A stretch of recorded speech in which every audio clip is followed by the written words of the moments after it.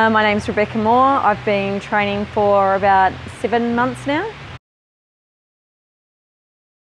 I enjoy the people and I enjoy being fit and having that.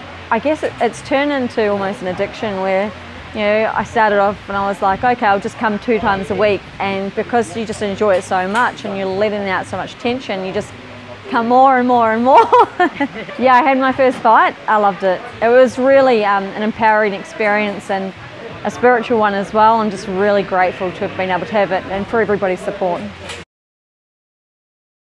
Uh, the reason why I came um, to the Muay Thai Urban Fight Gym was because I wanted to fight. I had been in a long-term relationship and it was just, it was time to do something for myself and for my two children and I just wanted to fight. Uh, it was in a good location and when I first came here it was just really supportive, everyone was really nice and welcoming so it was just a trial and then I decided that this was the place to stay. Just do it. Yeah. Don't make excuses.